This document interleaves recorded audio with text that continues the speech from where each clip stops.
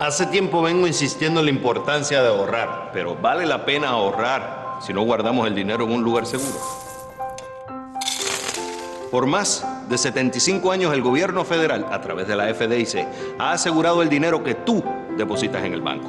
No existe un lugar más seguro para guardar tus ahorros. Vale la pena arriesgar el dinero por el que tanto has trabajado. Deposítalo hoy.